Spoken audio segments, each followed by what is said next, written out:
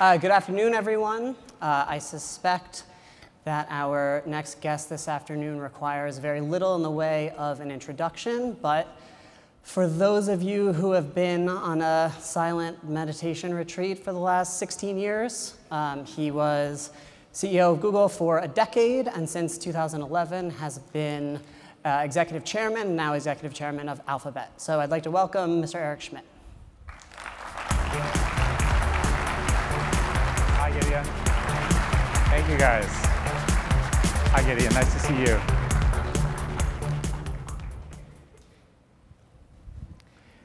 So I, I think the expectation here this afternoon is that we're going to be talking about the future of AI and machine learning. But I thought that maybe we would, given your institutional history, to start with the past.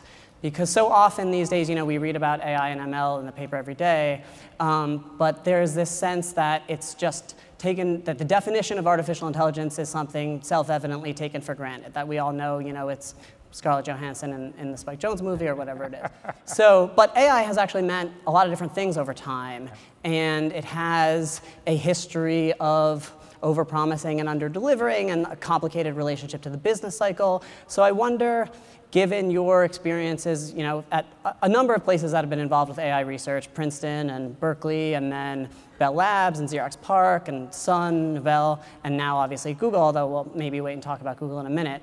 I just wonder if you could give us a kind of historical tour through how you've seen the, the concept and the aspirations for AI change over time at these various institutions. Well, thank you very much. And it's really great to be back here. This is the site of many, many Google events and many, many Apple events, including the iPhone launch. So it's wonderful to think now what's new and what's different. And I would say that what's really new is the emergence of security, not just in the kind that we're talking about today, but also nation state security issues, um, as well as machine learning and the things that are going to happen in the future. Um, so it's wonderful to be here. So when I was a PhD student, AI was the rage, and this was 40 years ago. And the whole idea was that AI would progress very, very quickly using language models that people were proving correct. And there was a small little component of it around neural networks that sort of didn't really go anywhere. And somewhere around the 1980s, there was the beginning of what is known as the AI winter, roughly 20 years where the smart AI people tended to be few and most people had gone into other areas, right, uh, which were doing really well. And somewhere around, I don't know, 2000, a set of scientists and mathematicians, notably led by a guy named Geoff Hinton, who recruited a number of other people, and he's a Canadian, um, came up with essentially deep neural networks, that is layered, the layered math around neural networks, which is the beginning of the current explosion. And I, being prejudiced from my sort of years of winter, when, when I first saw the uh, results involving vision and speech, and we used it in our ad systems a little bit, I said, oh, you know, it won't scale, it won't really generalize. These are mathematical techniques that are simple improvements in good engineering. And I've been proven completely wrong. Well, so to, to speak specifically about Google then, so even before you would come to Google, in the earliest interviews with Larry and Sergey, they talk about Google as an artificial intelligence company. And then um, very early, you guys hired uh, Peter Norvig, who, of course, wrote lit literally wrote the textbook right. on artificial intelligence as the director of research. And he had said at the time in an interview that he hadn't actually wanted to set up a specific part of the organization that was going to do AI research because he thought it should be part of everything. What was um, interesting was when, when we hired Peter, it didn't occur to me that he was an AI researcher. He was just a brilliant researcher. That's how little we understood of the consequences of hiring the foremost researcher. We just didn't think it would scale that way. And most of Peter's early work as our research lead was not, in fact, in AI. Right. So, it, I mean, it, it took until 2011 for you guys to ultimately decide that you wanted to set up a division of the company headed by, uh, at first, Andrew Ng and, and later Jeff Dean, um, called Google Brain to well, do. No, but the other thing that happened was the cat videos. Well, the cat, right, that, but that's a year I mean, after. no, but I mean, come on. I mean, the rest of us are going like, okay, whatever. And then they did this discovery where they discovered the concept of cats by watching YouTube videos. Now, I would have liked them to have discovered something more profound. I was very upset. I mean, it seems to me that if your index discovery in computer science and in AI, the e- event that launched, you know, the quest for general AI, you'd think you would have discovered like, you know, basic set theory or something like that. But instead, they discovered cats in YouTube. Well, but of course, this is part of the, the change that happened in AI you know, over the past 60 years, right? Which is that for a very long time, the expectation was that um, this was going to work on what we imagine to be very higher order cognitive registers of things like set theory or um, or the rules of chess, but that more recently the turn has been toward how do you actually get computers to do very basic things that you would associate with a one or a two year old. I I think it's clear that the change was easy to see in hindsight and impossible to see at the time. We knew that the computational power of these systems was exploding uh, in Moore's law ways, which means exponentially doubling every couple of years. And certainly Google was pouring an enormous amount into these data centers. What we did not understand was that simple algorithms, or what appear to be simple algorithms, could replicate what were incredibly uh, complicated taxonomies that had been designed by humans earlier. So the key thing is that large scale, simple analysis can appear to emulate very complex things. Right, so, but it, it did require a big leap of faith to decide to make this, to allocate these resources to a special department to do this. I mean, basically, they'd had no real significant results right. in, in 40 years. And then there was, Google was basically the first major commercial institution after really the Canadian, I mean, non commercial, the Canadian government invested a lot in this. Yeah, and years. thank goodness for the Canadians.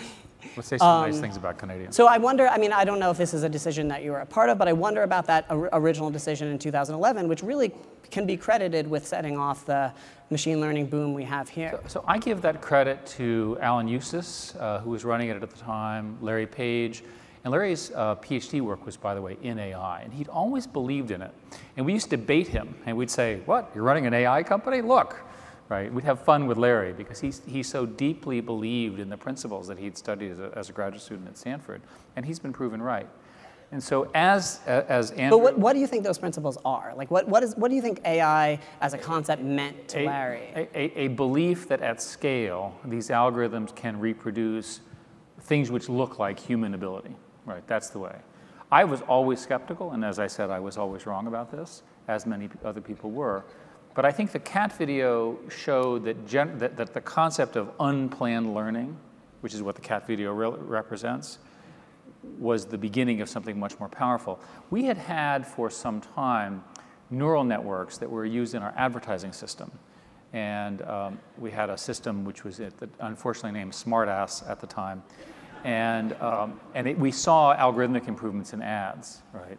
But again, we didn't make the leap from there to this more generalized artificial intelligence capability. So I remember again at around that time hauling the various scientists in and saying, look, what's really going on here, right? What is the real breakthrough? And that's when I became aware of the possibility of deep learning. Today, when you use uh, Google Speech, Google Photos, in many type cases you're using neural nets that are 10, 11, or 12 layers deep. And if you're not familiar with what this means, think of it as you have a photograph. The first layer says, hey, this is a box with some bits in it. The second layer says, here are the outlines of the things. The third thing, these are the colors. The fourth says, oh, here's a shape. The fifth one says, that's a human shape, and so forth. So think of it as a, a cascading level of, uh, so, shall we say, resolution at each layer.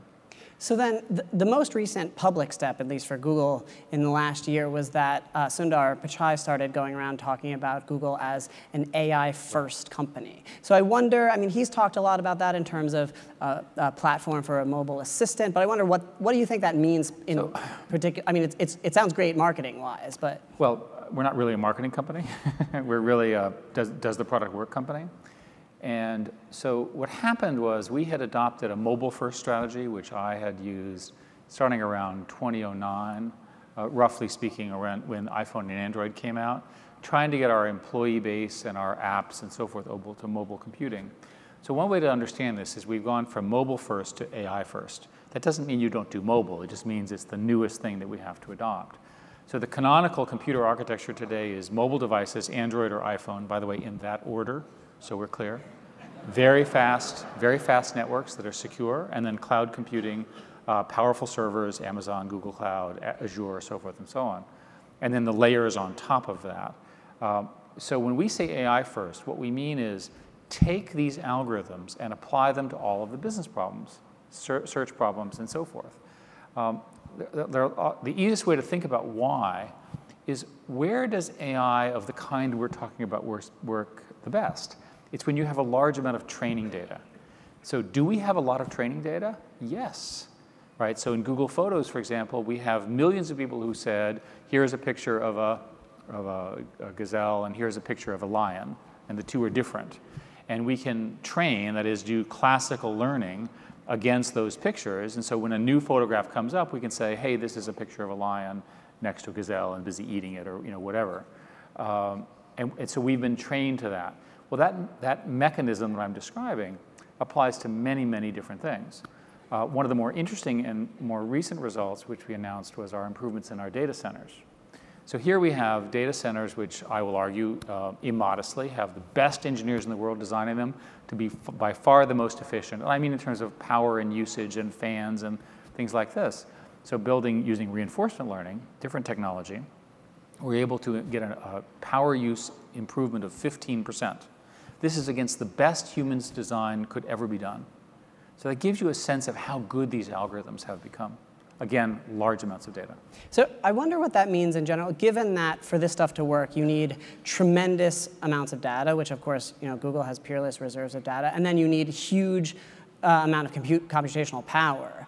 Um, what that does for the landscape here in the valley of um, the dynamics between startups and incumbents. I mean, because it seems like a lot of this machine learning stuff is almost impossible for you know like the gut, the tinkerer and the garage to do because it requires such tremendous institutional investment. Well, the first thing is that there are plenty of reservoirs of public data that are available that are available to that garage researcher, and it's important that we encourage all of that.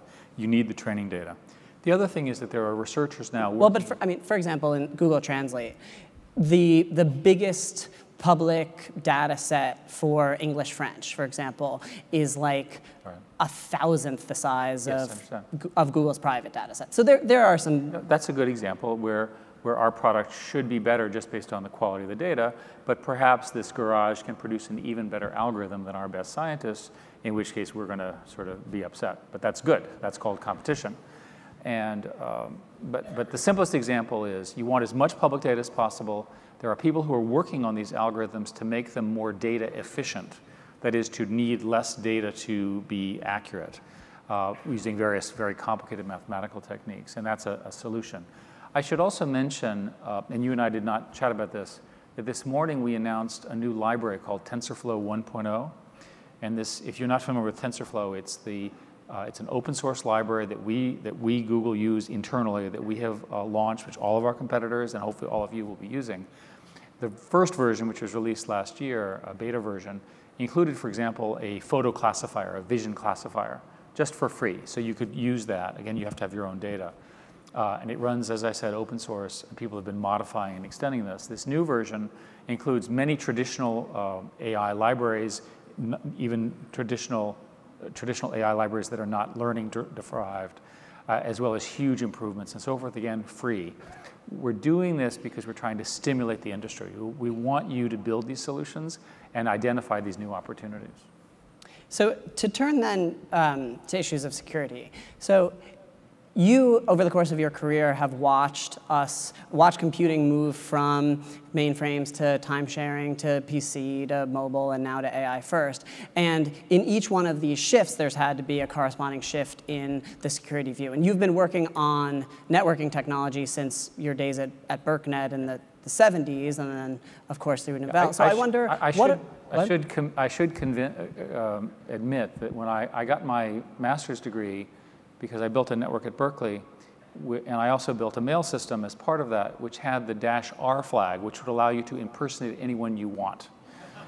So to say that the difference in mind view or worldview today versus then, right, it didn't even occur to us as researchers that there would be evil people among our university. And one of the academic questions is imagine if the internet had been designed knowing what you know today about the need for security at the packet level, deep packet inspection, encryption, and so forth. Would it, ever, would it have ever happened? In other words, if you start putting all that loading on these relatively simple end to end concepts that the internet is, would it have been able to get as much steam as it did? We now find ourselves back fixing it over and over again. And you keep saying, well, why didn't they think about this? Well, the answer is, I can tell you I was there. It didn't occur to us that there were criminals. Right? It didn't occur to us that these kinds of behaviors would occur. Well, at, at what point did it start occurring to people? Well, it turns out that there was a hacker um, when I was at Sun who actually at attacked a number of internet uh, things. And there was a particular uh, reporter from the New York Times and a particular investigator engineer named Tsutomu. And they tracked this guy and tracked this guy, and ultimately uh, he was found and prosecuted for it. And that was, I think, the moment it was heavily publicized. I think that was the moment where the internet community woke up and said, oh my God, right, we've got to actually secure this. Now, it's taken us 30 years, if you will, you know, to get that. And, and the good news is we've not lost the openness and the end-to-end principles of the internet while doing it. Well, so are there are there relevant examples that you can think of from platform shifts in the past in terms of how people, how there have been corresponding shifts in security concerns that you think ought to be brought to bear on this shift from mobile first to AI first? I'm not sure there's an obvious connection. I'm extremely worried about the, um, the likelihood that countries will begin to block the openness and interconnectedness of the internet. I wrote a book on this. I said I was worried about the balkanization of the internet and the people from the Balkans complained. So uh, let's just say that, that we benefit from the open interconnectivity of the internet. And we spend all day at Google dealing with the situation where this country is unhappy about this content which is coming from this other country. Um, and there's huge issues about all of that. But at the end of the day, the, the globalization that we see, the economic growth that we see is heavily dependent on this. So I'm also worried that the uh, fear of security, this fear over the internet and attacks over the internet, will be used as a pretext to shut down some of this access. And I, so I'm worried about that. Um, I'm worried furthermore that the machine learning capabilities that we're discussing today need to be done in the open and not by military research labs. And I want to make the point precisely. You can imagine a different scenario, that this stuff that I'm talking about now, which again is completely in the open and completely available to you, that the, somehow we had arrived at a different outcome and it was being done in military research labs between countries. So all of a sudden we'd spend all day worrying if they were in our networks, we wouldn't know what they were doing. The internet would begin to get start getting shut down because of fear of the Russians or the Chinese or bilaterally. And so one of the questions that I think the industry should be asking is can we come up with a way where the countries agree to not use the machine learning technologies in a way that militarizes the internet. In other words, a demilitarization plan, right? And maybe I'm an optimist, but I'd like to see some discussions about that. Um, I mean, presumably that would involve very strong regulatory pushes that it's hard to imagine. Well, you know, there was a meeting last year between President Xi of China and President Obama where they agreed to reduce the number of attacks from China to the United States. And for all I know, I don't, I've not been briefed on this. Perhaps there are US to China as well. Um, and there's some evidence that that worked. So I think getting the governments to, to agree that we are better off collectively by having a more open internet with less attacking, especially at a nation state level, would be a clear improvement for everybody.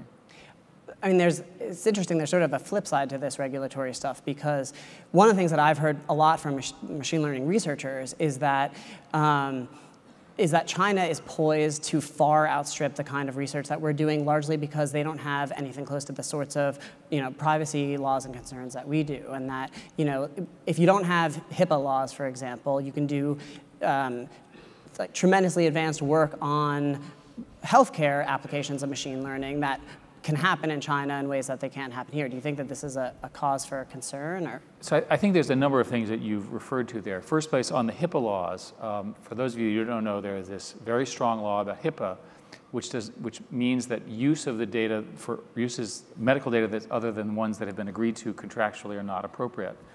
Um, I, my own view is that many people use the HIPAA laws to avoid actually doing anything right? And that there's enormous benefit to building, for example, research data sets so that research scientists can use the machine learning of the kind that I'm describing to actually solve disease problems. And some of these large databases should be done that. We're at the point now where if you have a numeric sequence, a you know, one, two, three, four, series of numbers, we're getting pretty good at predicting the following number. And you say, oh, okay, well, that's kind of interesting. By the way, that's healthcare. Because healthcare is your medical record, all of your life experiences, one after the other. And the question is, you show up in the hospital, and your question is, what's going to happen to me?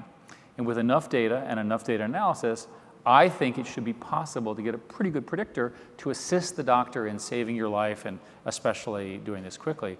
We have a number of, of small experiments trying to do this. But again, the privacy laws need to be put in context. I'm not suggesting that they're wrong, but I'm suggesting, for example, that the research that's necessary to develop these algorithms is something that we should do, and it should be consistent with HIPAA. Um, with respect to China, uh, again, China is likely to do extremely well in artificial intelligence and machine learning because they are, as a country, developing very quickly math and science skills, and they're trying to move ahead. And they have a number of companies that, that are working in this area.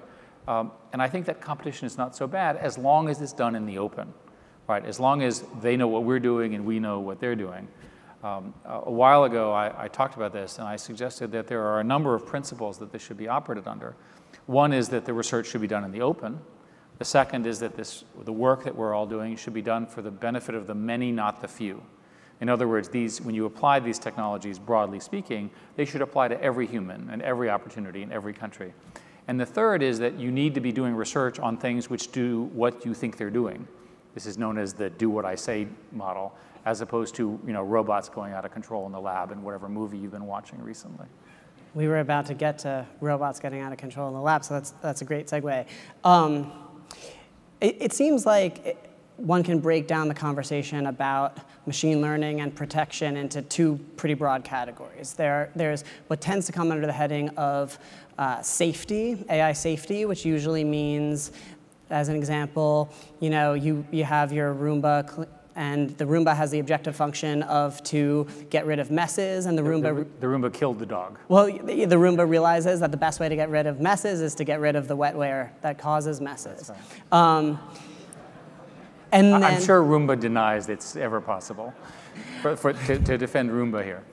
Um, but then on the other hand, you have, um, and so often AI safety issues is when you're talking about the danger from the AI system. Whereas usually we, when, we, when people talk about AI, secure, or AI security issues, they're talking about dangers to AI systems. So we're talking about, um, you know, for example, uh, the kinds of poisoning attacks that would compromise the integrity of the data that a machine learning system is using to learn.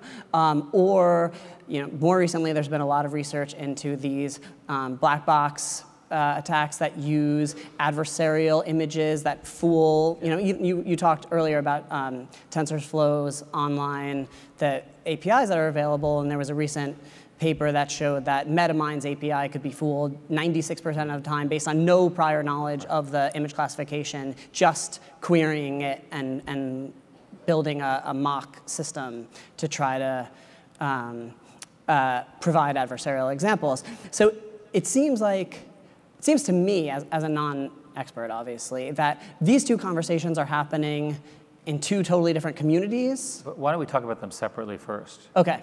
Right. So um, let's talk about this question about. Um, well, you pick. You pick which one. Well, let's talk about AI safety first. So, AI safety is generally understood as the the AI work is producing pretty much what we think it's going to do. And in recent conferences that I've been at, this is phrased at at what point when the AI is intelligent enough to self-modify can we verify that the self-modification is correct? Right? Very reasonable intellectual question. Well worth a discussion.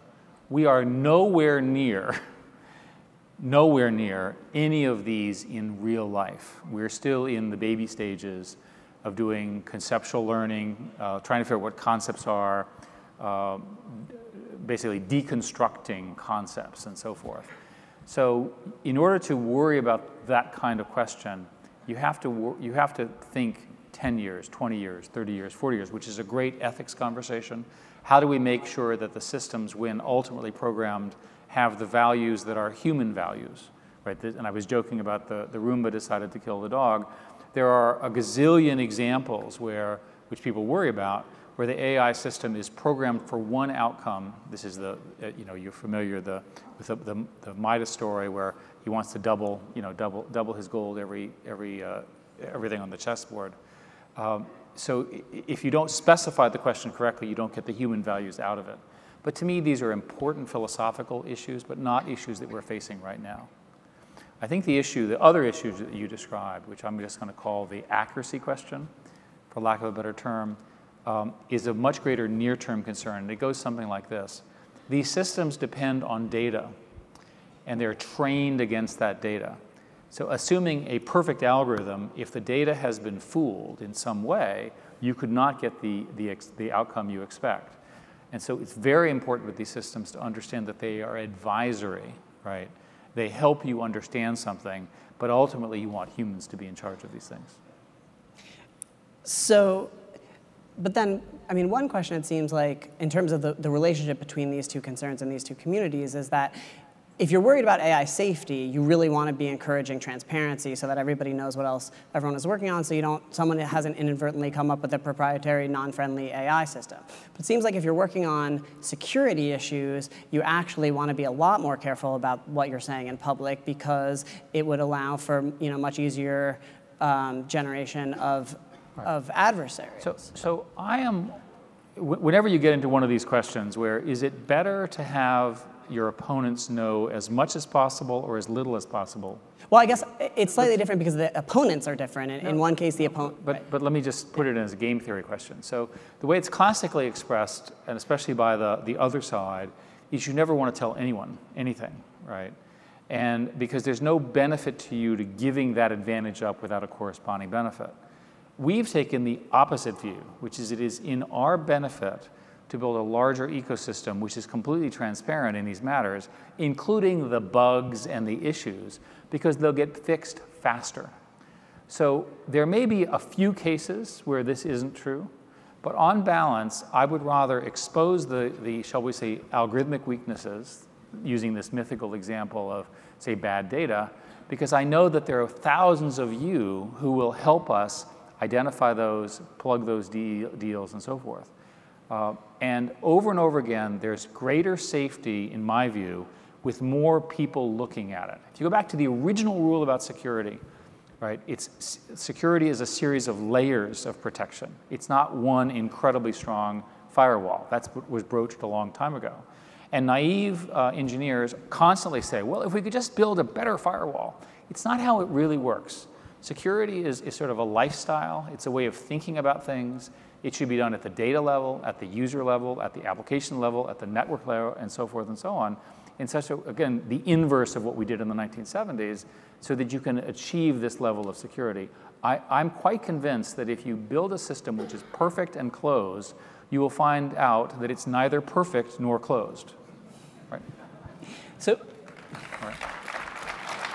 so moving on from that, let's go downstream to the device level. That um, you know, we're living in this world where the predictions are that in five years we'll have 50 billion connected devices, and um, there's the concern that these um, these, there's no market incentive for these devices to be secure because these they're, they're, built cheaply by third parties that don't necessarily have any brand recognition um, consumers buy them for price point and for features, and they upgrade every year, and that we're going to see increasing numbers of these Mirai botnet style attacks. Um, so I wonder what, um, given that it seems unlikely that there are market solutions to these particular externalities, I wonder how you see the role of somebody you know, upstream like Google, especially as there's greater and greater demand for the data that these devices provide.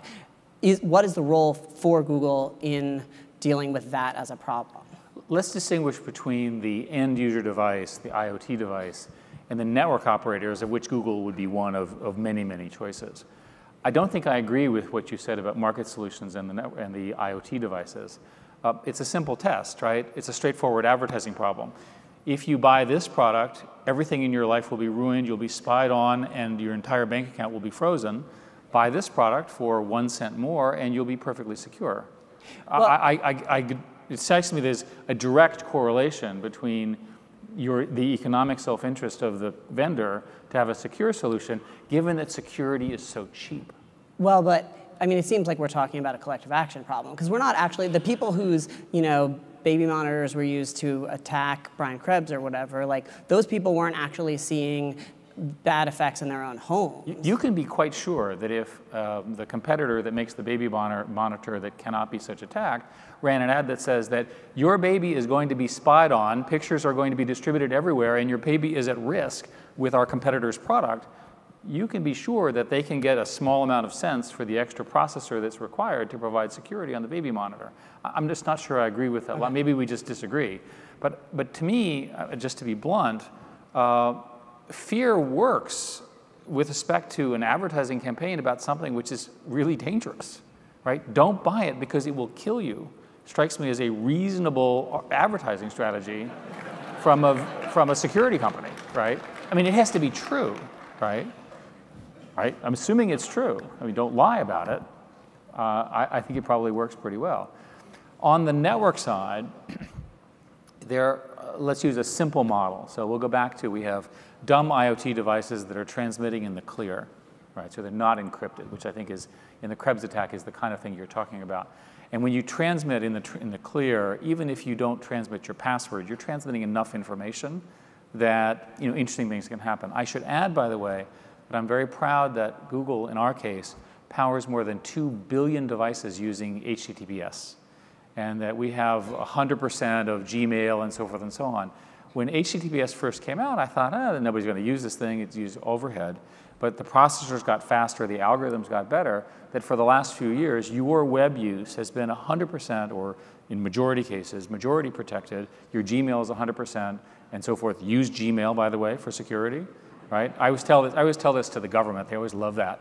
Use Gmail for your security and use two-factor for the same reason. And you do those two things, you'll be in pretty good shape. But so let's think about business strategies on the network side. Well, you could imagine a number of companies that could interpose themselves in ways that would look at these data flows, do data analysis, and give alerts. And you could ima imagine a botnet alert network that said, hey, all of a sudden, the baby monitors have all woken up in synchrony. This has never happened in babydom, right? God decided that all the baby monitors should wake up and send pictures to one site. That's a highly detectable phenomena by a proper network analysis system. Uh, there are plenty of systems that provide proxy caches that could do that. There are plenty, I mean, Google would be just one of a company that might be able to do that, but there are plenty of people in the ecosystem that could provide these kinds of alerts, and would they be valuable? Yeah. I'm not trying to talk about baby monitors as a problem, I'm just using your example.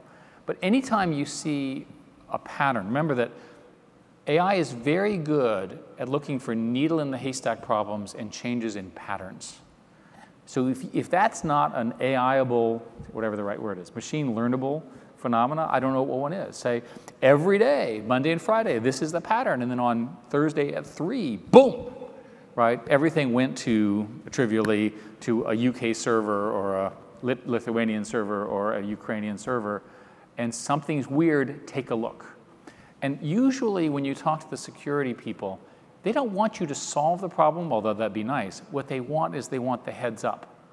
Hey, we noticed a change in pattern, check this out. And then they can use traditional investigative reports, tracking, traditional mechanisms, because it helps them focus their attention. So to, to, kind of zoom back out again on some of these bigger, bigger questions about AI, um, in the six months or so that I spent on and off with members of, of Google Brain, I noticed that not even one time did I hear anybody mention either the singularity on one hand, or on the other, uh, you know, this millenarianism, this apo the apocalyptic scenario that that we've seen other people describe. Um, and it seemed to me that the, you know, exactly as you said before, that people are having, and if you ask an engineer, he or she will say, well, I'm having, it's hard enough to get this to work to do what I want. I can't even consider the, the fact that this is going to you know, immediately become sentient and, and, treat us all like lettuce. Um, but, and in fact, one engineer said to me that he thinks, in his view, that there's an inverse relationship between technical proficiency and willingness to speculate about these kinds of scenarios. Um, uh, plenty of smart people have made mistakes too, trust me. Um, so, I, um, but it, it does seem like the public non-technical discussion is so often dominated by, on the one hand, like the boosterish view of AI in the future, and on the other, the really pessimistic, like existential risk view. And it seems that there's this ever-growing gulf between the way that the engineers and the researchers are looking at it and the way that the public is consuming information about it. And I mean, especially given the, the wariness that so many of these companies have about journalists, for example, I wonder what you think can and should be done to close that perceptual gap. Well, in, in our case, you, you studied what we were doing and wrote about it, and as far as I know, wrote without any restrictions, and you know, your, your, your coverage was, was, you know, struck me as right, right on. Other people have done the same. So our approach is to try to do this in the open. We're trying to model this behavior. We're clearly one of the leaders in this space, and so if we can influence others, I think that's a better outcome. Uh, it's useful to know where we are, right? So I'll give you my favorite scenario of the future. What happens is, over time, general intelligence gets developed, the singularity occurs, the intelligence gets smarter than humans, the, hum the humans have a battle with the general intelligence, and the humans decide to turn off the computers. The intelligence is so smart, it hops from computer to computer, preventing the humans from turning off the computers, and eventually the intelligence wins and humanity is destroyed. That, by the way, is a movie, okay? That's a movie, right? It's not true, right? Can we start over? It's a movie. It has not occurred yet. We're still here. Um, and more importantly, the scenario has an enormous number of assumptions. And in the 1970s, when we had analogous discussions, and if you go back, by the way, to the discovery of AI as a concept in the 60s, there were analogous writings of this at the time. Oh, is the uh, right. intelligence super uh, the superintelligence explosion papers from like the 1963. Think about 1963. There's a 1959 paper and so forth. It's all been well documented. So it's fine for us to worry about our future, uh, our future intelligence. One of my friends, Andy McAfee, McAfee, says that the humans will revolt before the computers do, right? In other words, there's so much else going on, we should worry about ourselves, right? This is my personal view. So, so let's talk about where we really are. Um, we have enormous, enormous strides in computer vision. And computer vision is now better in most scenarios than human vision. Huge impacts on transportation, self-driving cars, and the doctor. When you go to the doctor, what do they start doing? They look. They look at your skin, they look at your tonsils, they look at you know, your eyes and what have you. And we have result after result coming now that if you give the same picture to a computer, you get better diagnostic than a, a, series of the best people if you show them enough pictures. By the way, it's not a fair comparison. The computer sees a million pictures and the human says 10,000 in their lifetime. It's just better training. The computers don't get bored. They can be trained 24 hours a day, that kind of stuff. So this vision result, which is I think the first of the results along with speech, which is similar to vision in the way it mathematically is done, means that systems will have human-like qualities with respect to vision and speech, which is not the same thing as AI right? But it means things that bedevil us, right? So traffic accidents, uh, bad diagnoses in the medical system are going to get much better. These are clearly positive. And, and I will stake my reputation that that's going to be the real narrative over the next five years. It's hard to know what happens after that, but there are many, many startups here in the Bay Area and elsewhere in the United States that are busy essentially trying to take medical processes and transportation processes and essentially automate them in a relatively straightforward way, and the tools we provide allow that. So I would focus first on that. There are people who are working on more generalized intelligence, more powerful re reinforcement learning and things like this, and those are at the research stage. Uh, as you know, Uh, last year, we did a technology called AlphaGo, and we beat um, the human, who was a brilliant man, four to one, right? And there's evidence that we've gotten significantly better in the last, in the last 12 months. So we're beginning, these algorithms are getting better, but again, they're all available to all of us to exploit. All right. Uh, I think we're out of time, but Okay, thank you Thank you guys very very much. much. Okay, thank you.